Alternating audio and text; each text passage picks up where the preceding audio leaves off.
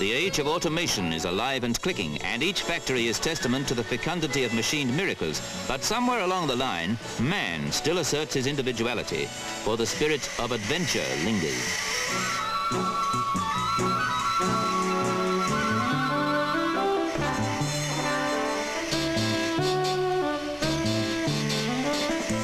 Adventure, it lurks in all of us, especially the young, though an automated world may suppress it.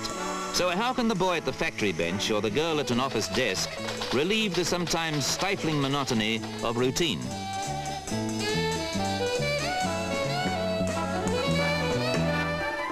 One answer to the problem is Outward Bound. Six special schools in Britain and over 20 more around the world are giving young people a taste of adventure and a means of developing initiative, self-confidence and responsibility. At the Outward Bound School near Ashburton on Dartmoor, the new boys' welcome is the prelude to an arduous 26-day course.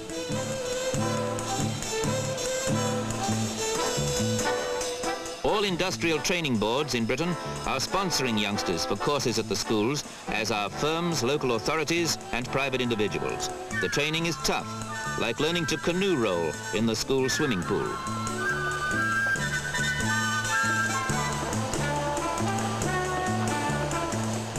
Safety is the watchword here, and pool training proves useful when it comes to navigating the rain-swollen rapids of the River Dart.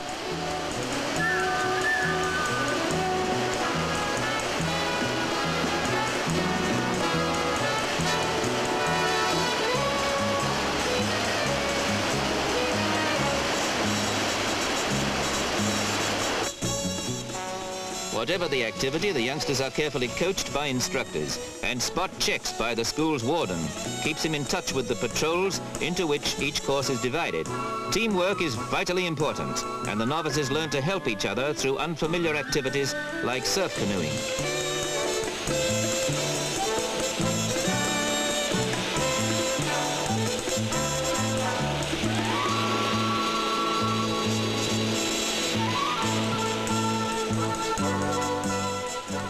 Adventure inevitably entails hazards, so emergencies are catered for.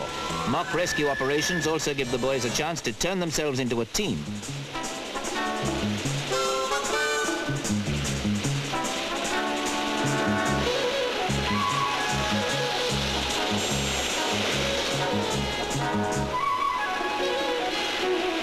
One operation complete, but there's always something else going on around Dartmoor to keep the warden on the move.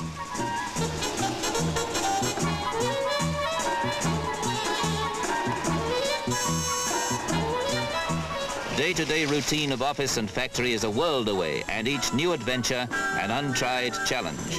But the boys soon get to know the ropes.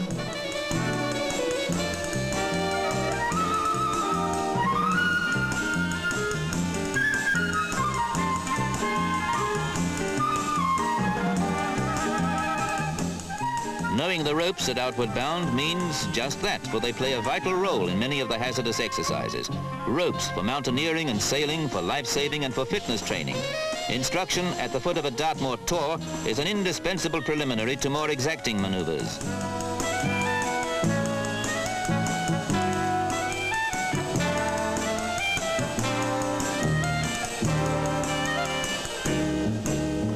There's always a part of the course that's unnerving for some. Potholing presents its physical problems, but a fear of the unknown must be conquered too, when you're crawling about almost blindly in the darkness of subterranean corridors.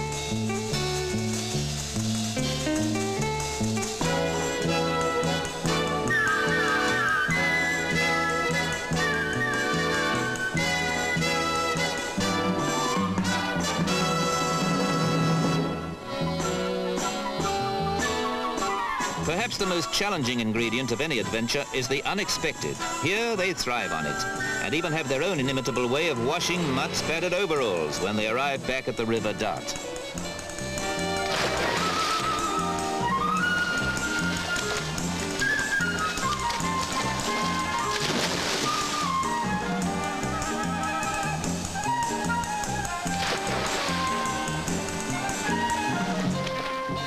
Descent over the chasm at Berry Head on the holiday coast at Brixham is no less spectacular, if rather more delicately attempted.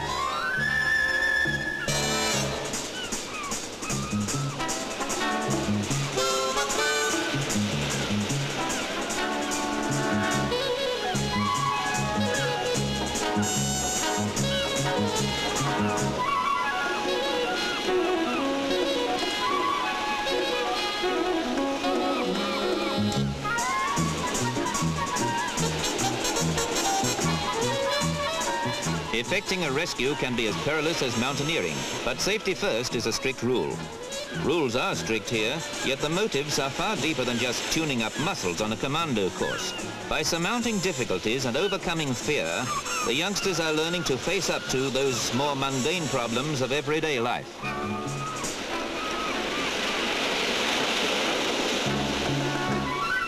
Like all good schools, Outward Bound has a sturdy school motto, to serve, to strive, and not to yield.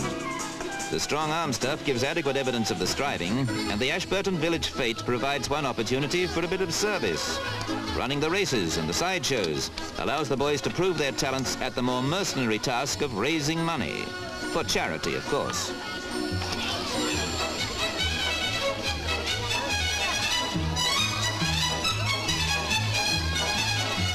It makes a break to watch someone else exerting themselves, and as they say, it's all in a good cause.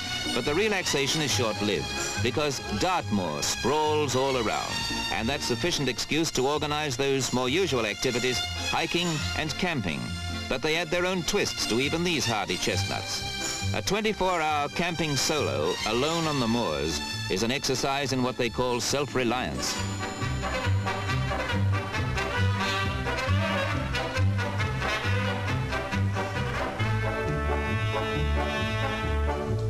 Hiking is no weak-kneed weekend ramble. The boys are dumped 70 miles from the school and given three days to find their way back.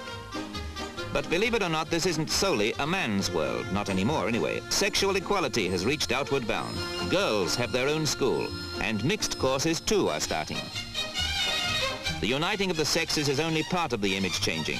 Special City Challenge courses have begun to give youngsters insight into some of the more neglected facets of big city life like working in hospital geriatric wards and mental homes. Outward Bound is keeping up with the times.